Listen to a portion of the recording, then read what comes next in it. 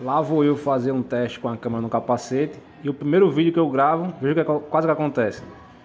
Esse carro avançou o semáforo e quase colido com esses dois carros na minha frente aí. É. Foi por pouco, pouco mesmo.